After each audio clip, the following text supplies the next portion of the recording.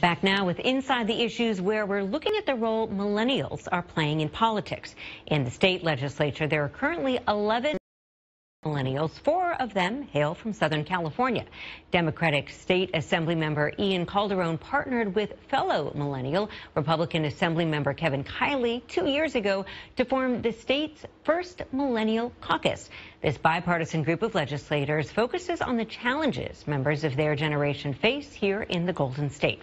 Our Sacramento correspondent Serena Sandoval brings us this profile of one of the caucus's members.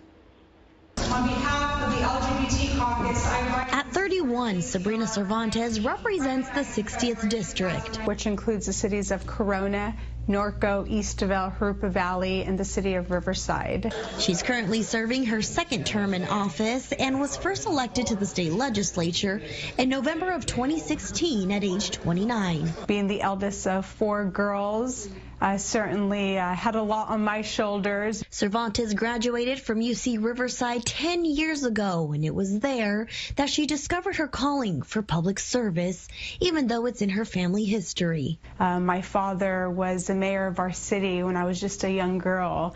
Uh, my mother has been a teacher for 30 years now in our public school system. Despite this tradition of service, she faced many challenges, particularly with gathering support prior to her election. I always felt that we, I was always underestimated. During her first six months in office, she received a unique opportunity to prove herself. The capital's youngest legislator was summoned to the governor's mansion to negotiate face to face with Governor Jerry Brown, an opportunity that many lawmakers never receive. As a millennial, we have to elevate ourselves to a whole nother level uh, because we're still often disregarded and, and underestimated as leaders. As a result of that meeting, Brown approved nearly half a billion dollars for the Inland Empire, including $427 million for transportation projects 18 million for parks and 16 million for four small cities. As a young gay Latina legislator, Assemblymember Cervantes understands challenges firsthand and encourages all young people to never give up. You don't have to know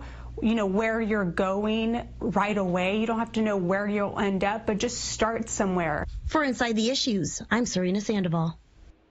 And our thanks to Serena for that story. When we return, another woman breaking down political barriers. Meet California's youngest ever female mayor. That's coming up after this brief break.